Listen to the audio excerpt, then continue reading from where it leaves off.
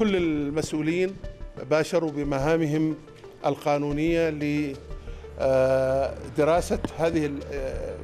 الحدث المأساوي وأيضا